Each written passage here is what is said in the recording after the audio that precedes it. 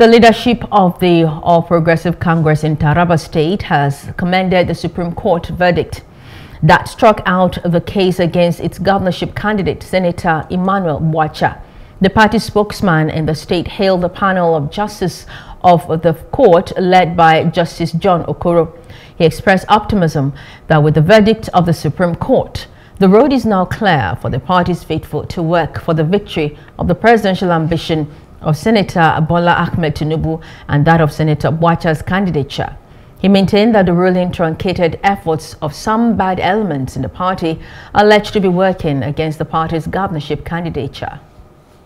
I think a lot of our supporters will sleep very well today because uh, the victory of truth and justice over falsehood and, and fruitless propaganda has prevailed.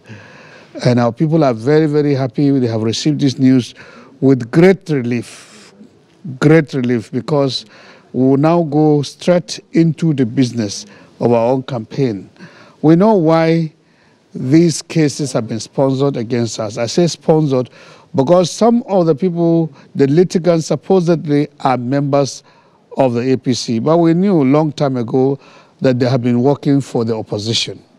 They are sponsored by the opposition to try to derail our campaign, to try to blot the hopes of the people of Taraba State for a new government, a new administration in the state, against the fact that the PDP government in the state had failed the people in the last eight years. And people are looking for alternative, you know, to get out of the quagmire of bad leadership in the state.